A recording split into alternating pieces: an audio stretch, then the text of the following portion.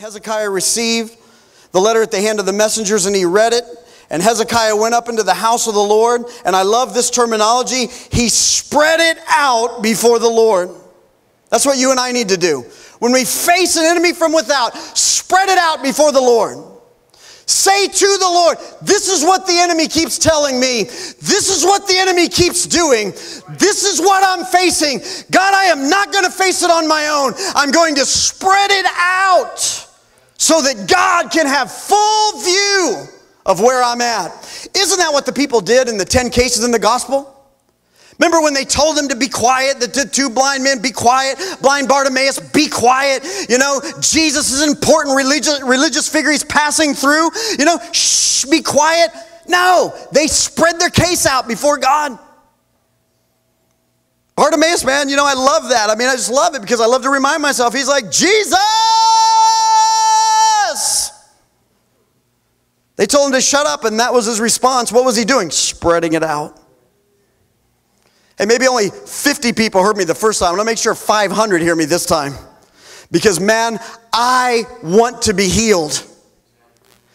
This is a one time scenario. Who knows if Jesus will ever come this way again? He's a healer.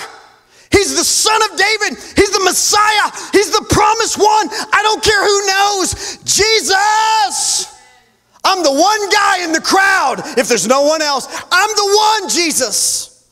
Have mercy on me.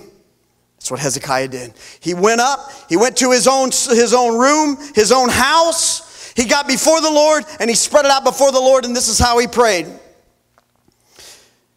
He said, O Lord God of Israel, which dwells between the cherubims. Man, I love that. He knew who God was. You are God, even you alone. You're the God of all the kingdoms of the earth. You have made heaven and earth. It's good when you pray to start off with who God is.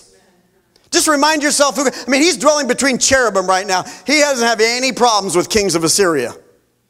he doesn't have any problems, man. He does, Sennacherib doesn't mean anything to him other than somebody that needs to be dealt with, somebody hopefully that could be saved, right?